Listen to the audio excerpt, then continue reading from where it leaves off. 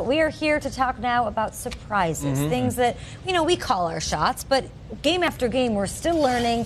I want to know which team has surprised you guys most, maybe after week five, maybe after all season. I would say the Chiefs for me. Um, leading into the season, I always uh, make a comparison to what was it like last year? What was I wa- watching with the Chiefs and Alex Smith and that offense? It looked fantastic. I just thought, man, that chemistry. It's hard. It's going to be hard for Patrick Mahomes, who we haven't seen on the field, to come in and have that same type of energy.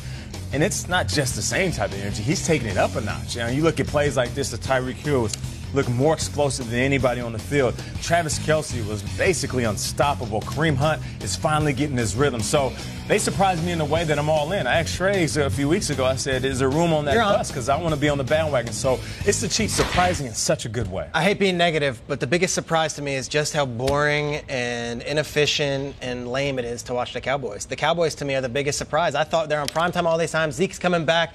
They have a plan at wide receiver. They don't. They're boring. They're stale. Last night was not fun to watch. And the opposite of that, for me, it's the Browns that are most surprising because they're maybe the most watchable team. All of their games no come down to one possession. They've gone to overtime three times already. They've got personalities like Baker Mayfield and Denzel Ward doing his thing, being a rookie, putting himself on the map. When you see the Hard Knocks teams, mm-hmm. Kyle, you don't ever expect it to pan out that it's just no. as exciting, and it is for the Browns. And I don't expect the Cincinnati Bengals to ever pan out, but they're my team. They're in first place. They already beat the Ravens. They were down 17 nothing against the Dolphins. They came all the way back. Next week, the Steelers come to town, and then they go at KC. Oh, really? So some big matchups coming. I like the Bengals.